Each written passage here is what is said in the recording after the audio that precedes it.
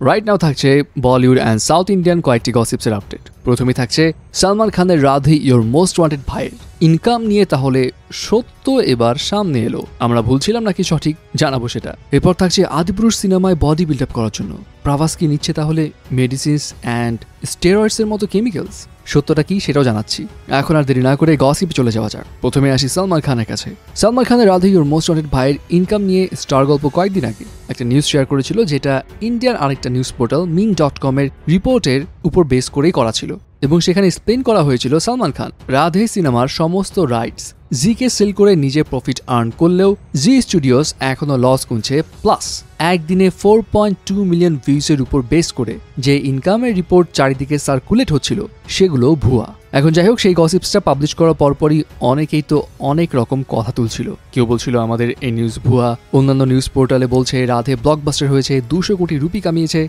যাচাই বাছাই করে অথেন্টিক সোর্স থেকে যেন নিউজ দিই এটসেট্রা এটসেট্রা আরও অনেক রকম কমেন্টস এছাড়া আমরা সালমান খানের হেটার্স প্লাস নানা রকমের গালিগালাজ তো ছিলই। যাই হোক, এখন ভক্তরা ফেভারিট সুপারস্টারকে নিয়ে নেগেটিভ কিছু শুনলে চটে যাবে, এটাই স্বাভাবিক। সেই জায়গাটাও আমরা বুঝি। কিন্তু তাই বলে আমরা যে সালমান খানের হেটার্স এমনটাও নয়। আমাদের কাজ আপনাদের কাছে সত্য খবরটা পৌঁছে দেওয়া এবং সেটারই একটা চেষ্টা ছিল ওই দিন। যাই হোক, আপনারা আরও অথেন্টিক সোর্স চাচ্ছিলেন। এখন সেই সোর্সটাও আপনাদের সঙ্গে রাইট নাও শেয়ার করছি। Recently Indian leading trade analyst Komal Nahta তিনি নিজেও রাধের ইনকাম নিয়ে একটি ভিডিও শেয়ার করেন, যেখানে তিনি নিজেও এক্সপ্লেন করেন, একদিনে ফোর পয়েন্ট টু মিলিয়ন ভিউজের উপর বেস করে রাধের যেই ইনকামের খবর ছড়ানো হচ্ছে, সেগুলো সব ভুল। জি স্টুডিওস আগামী তিন চার সপ্তাহেও রাধের থেকে প্রফিট আর্ন করতে পারবে না। তিনি এটাও অ্যাড করেন four point two million views মানেই যে four point two million ticket sale হয়েছে এমনটা নয়। হয়তো এর চার ভাগের এক ভাগ টিকিট সেল হয়েছে তখন। তিনি সে সঙ্গে এটাও বলেন, রাধের মধ্য দিয়ে জি এই অল্প সময় কখনই প্রফিট আর্ন করতে পারবে না। তবে তিনি ধারণা করছেন যে, যেহেতু জি দশ বছরের জন্য রাধের রাইটস কিনেছে, তাই লং টার্মে ফিউচারে তারা রাধে থেকে লাভ করতে পারে। এছাড়া তারা নন এক্সক্লুসিভভাবে অন্য কোনো ওটিটি প্ল্যাটফর্মে রাধে মুভি সেল করেও ভালো অ্যামাউন্টের টাকা আর্ন করতে পারে।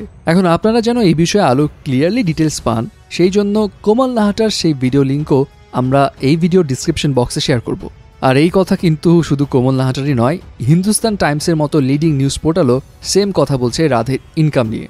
এখন আমরা তো অথেন্টিক সোর্সগুলো আপনাদের সামনে শেয়ার করলাম। রাইট নাও আপনারাই দেখেন আর বিচার করুন।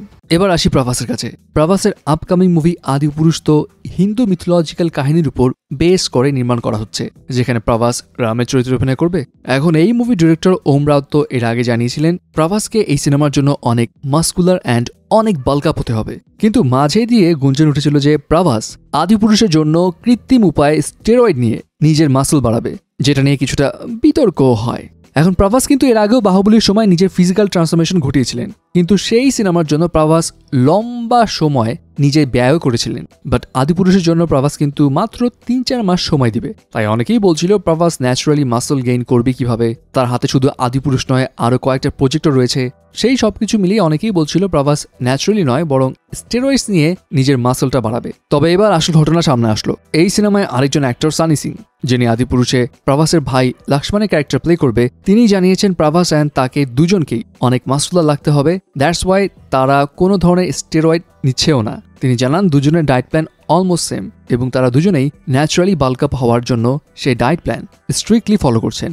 সানি সিং আরও বলে, তিনি fifty percent carbs and fifty percent protein নিচ্ছেন অ্যান্ড তাদেরকে দিনে দশ থেকে বারোটা করে ডিমও খেতে হয় প্লাস দিনে চার থেকে পাঁচটা মিলও থাকে তাদের। ওয়েল এখন সানি সিং তো কনফার্ম করল যে প্রভাস এবং তিনি দুজনের কেউই স্টেরয়েড কিংবা কৃত্রিম উপায়ে বাল্কআপ হচ্ছে না, বরং পুরো প্রসেসটাই ন্যাচারাল সো ভিউয়ার্স লেটেস্ট এই গসিপসগুলোর আপডেট জেনে আপনি কি ভাবছেন? কমেন্টস করে জানিয়ে দিন আপনার মতামত।